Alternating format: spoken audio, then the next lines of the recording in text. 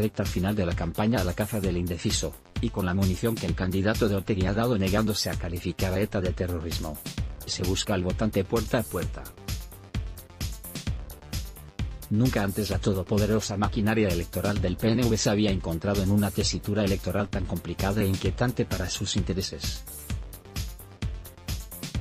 A cinco días de la jornada de reflexión, la alerta roja se ha encendido en Sabinechea, el cuartel general de los PNVistas, porque las encuestas internas, y las publicadas lejos de despejar el camino a su candidato Imanol Pradales confirman el peor escenario para sus expectativas. Bildu ganaría en votos y en escaños el próximo domingo.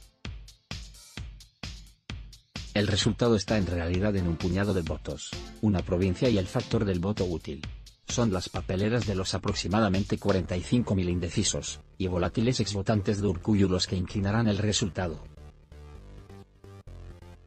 Es un escaño en Araba, donde nunca ha ganado Bildu y ahora lo roza, el decisivo.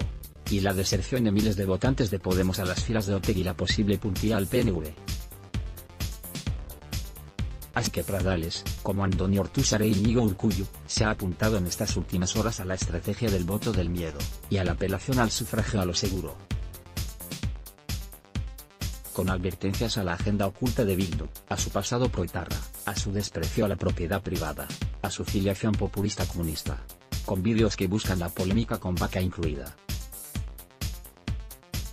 Todo vale de aquí al domingo para movilizar al votante propio, y tratar de arrebatar caladero al PP con banderas como la ocupación o la inseguridad ciudadana. Y en los Batsokis y en los pueblos hay una llamada arrebato a sus militantes, a la caza del indeciso para leerle la cartilla.